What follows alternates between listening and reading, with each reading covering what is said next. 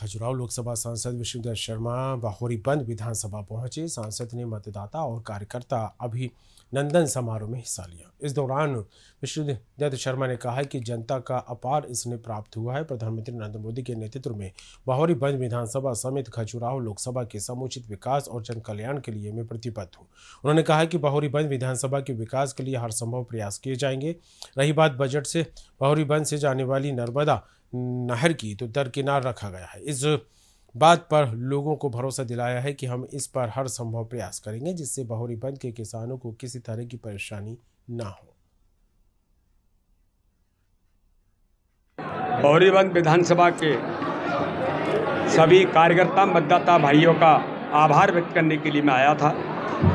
और आज जो प्रचंड जीत खजुराहो लोकसभा में जनता के आशीर्वाद से मिली है प्रधानमंत्री नरेंद्र मोदी जी के नेतृत्व में और हमारे कार्यकर्ताओं की अथक मेहनत परिश्रम तो प्रत्येक बूथ पर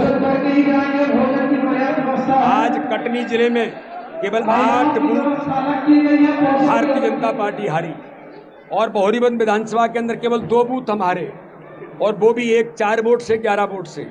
तो हम सबने मिलकर के आज कार्यकर्ताओं का अभिनंदन, कार्यकर्ताओं का धन्यवाद, उनका सम्मान किया है और जनता का आभार व्यक्त और वरिष्ठ मतदाता भाइयों और बहनों का भी सम्मान आज हमने बौरीबंद विधानसभा के अंदर किया है।